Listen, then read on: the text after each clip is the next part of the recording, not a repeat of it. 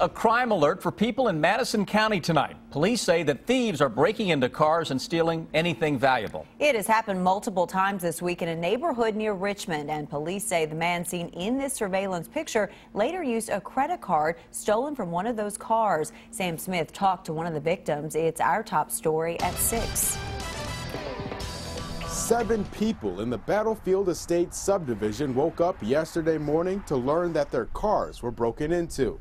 Noticed the door was halfway shut. He did this. Lance Patterson was one of them. So anyway, I was running late, uh, and I have a normal routine, and uh, I got off my routine, obviously. Uh, so that was my mistake.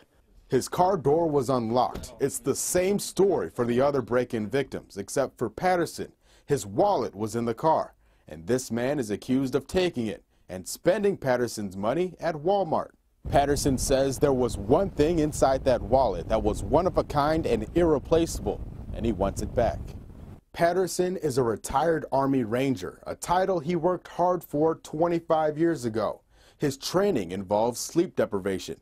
A symbol of that accomplishment, a Ranger tab, was in his wallet. I'd really like to get that uh, little piece of black and gold cloth back. Deputies say the man in the surveillance footage bought a PlayStation console and a video game at Walmart. They say he may have been involved in the other break-ins in the neighborhood. Patterson hopes he's caught. If you, if you did it, if you got my wallet, just turn it in. You know, I'd appreciate it. In Madison County, Sam Smith, WKYT. If that man seen in that surveillance video is caught, he could face multiple charges, including theft and fraud.